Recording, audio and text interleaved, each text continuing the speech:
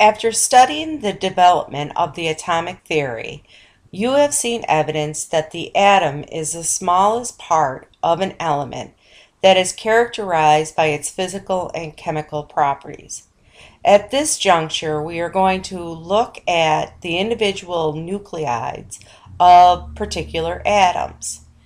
The atom, being the smallest part of matter, consists of protons, neutrons in the nucleus, surrounded by electrons outside the nucleus. In an atom, the total charge is equal to zero. Therefore, the total positive and the total negative charges are equal. So the number of protons and the number of electrons in an atom are equal. Masses of atoms measured in grams are very small. An atom of oxygen 16, for example, has a mass of approximately 2.7 times 10 to the minus 23 grams. It is only in this century that scientists have been able to measure masses this small. Although we know the actual masses of atoms, for most chemical calculation, it is more convenient to do or to use relative masses. As you have learned in Unit 1, scientists use standards of measurement that are consistent and the same everywhere. In order to set up a relative scale of atomic mass, one atom is arbitrarily chosen as a standard and assigned a relative mass value. The mass of all the atoms are then expressed in relationship to this defined standard. The carbon 12 atom has been chosen as the standard by the International Organization of Scientists that governs units of measurement. A single atom of a nuclide of carbon 12 is arbitrarily assigned a mass of exactly 12 atomic mass units. The atomic mass unit is symbolized by the letter U. One atomic mass unit, or 1U, is exactly 1 12th the mass of carbon 12 atom, or approximately 1.66 times 10 to the minus 24 grams. The atomic mass of the carbon-12 is exactly 12U. The mass of an atom now that expressed we have in talked atomic a little mass bit about is atoms, called the atomic mass. let's talk about the particles that make up atom. atoms. Particles that are smaller than the atom are called subatomic particles. The three main subatomic particles that form an atom are protons, neutrons, and electrons. The center of the atom is called the nucleus. Any particle found inside the nucleus is called a nucleon. Since the development of the atomic theory, scientists have learned a great deal about the properties of the atomic nuclei. For our purposes in chemistry, the nucleus of an atom can be considered to consist of two different types of particles. Protons have a mass of only 1.67 times 10 to the minus 24 grams. Because the mass of the proton is so small, it's more convenient to use a different scale, whose units are called the atomic mass unit, to represent the mass of a proton. A proton is assigned one atomic mass unit, which is relatively the same size as a neutron. The proton carries a unit positive charge of plus 1, which is basically equal in magnitude to that of an electron, which is minus 1. The neutron, an uncharged particle with a mass slightly greater than that of a proton, has a mass of around 1.67 times 10 to the minus 24 grams, which we assign it then a relative mass of one atomic mass unit. Electrons occupy the space outside the nucleus and have a charge equal to but opposite of a proton.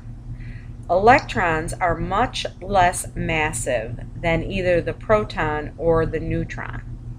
having a mass of only 1,836 the size of a proton, which is basically zero AMUs. It has a charge equal to uh, in magnitude, but different in sign to a proton. Its relative charge is minus 1.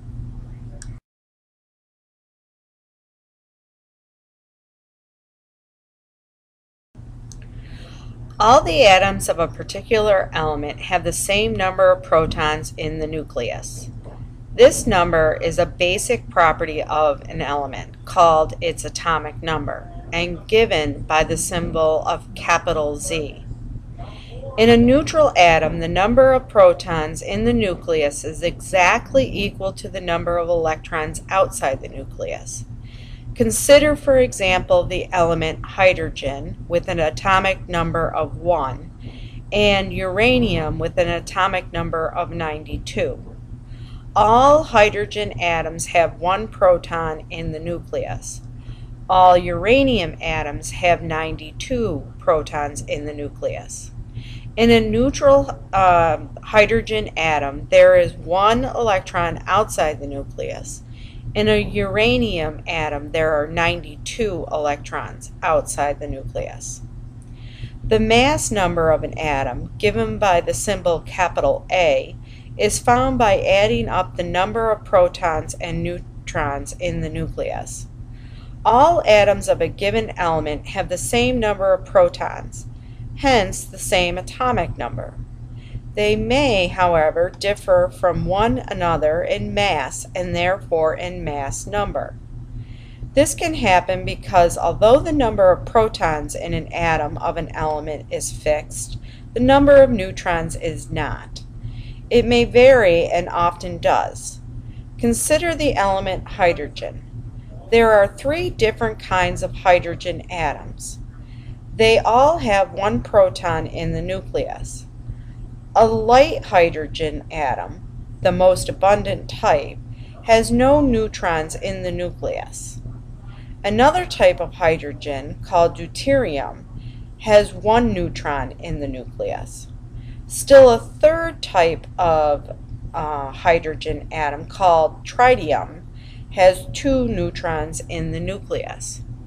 All atoms that contain the same number of protons but different number of neutrons are called isotopes.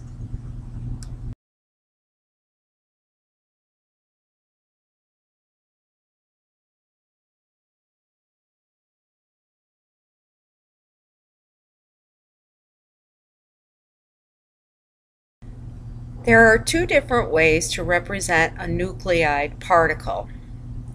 The first way to represent a nuclide particle is to use the chemical symbol for the element as your central location. As a subscript on the left-hand side, we have the atomic number of that particular element, which equals the number of protons. As a superscript on the left-hand side, we have the mass number of that nuclide, which equals the number of protons plus neutrons. As a subscript, I'm sorry, a superscript on the right-hand side, we have the total charge of the particle, which equals the number of protons minus the number of electrons. So if I look at this particle of carbon, the atomic number is 6. Therefore, this nuclide contains 6 protons, which identifies it as a carbon atom. When looking at the mass of 14, I know I have 6 protons, and protons plus neutrons have to equal 14. So 6 plus the number of neutrons equals 14, there must be 8 neutrons inside the nucleus. The total charge is equal to the protons minus the electrons. So in this case, 0 will equal 6 protons minus x number of electrons. So in order for the total charge to be zero, there must be six electrons. The second way to represent a nuclide would be to use the name dash the mass number. So the name of the element is given or just the symbol of the element. The number at the end represents the mass number of that particular atom. This symbol can only be used to represent an atom. The mass number at the end equals the protons plus neutrons. Now, to use this nuclide symbol, we would have to look up the symbol for the name of the element sulfur. So sulfur has a symbol of S. I go to the periodic table and look up the atomic number of sulfur, which is 16. Therefore, Sulfur atoms have 16 protons inside their nucleus.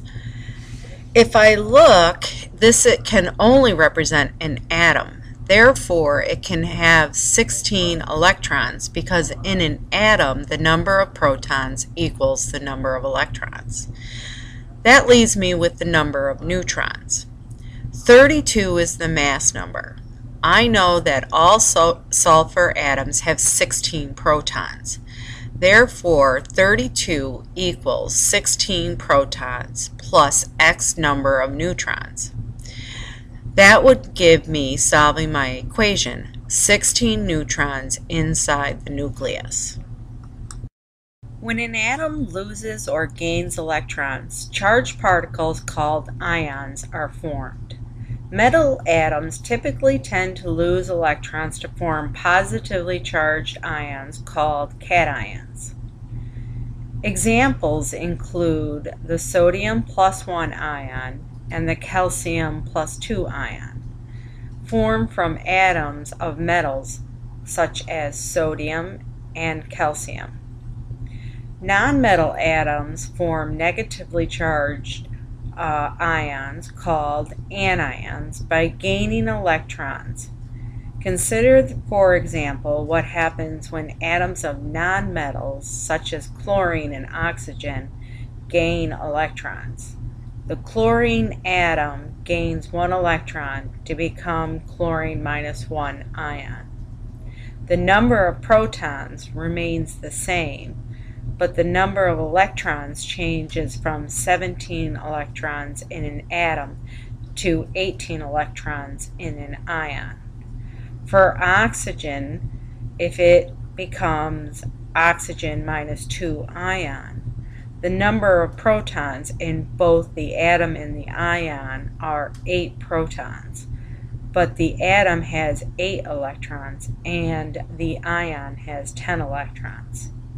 Notice that when an ion is formed, the number of protons in the nucleus is unchanged. It is the number of electrons that is increased or decreased.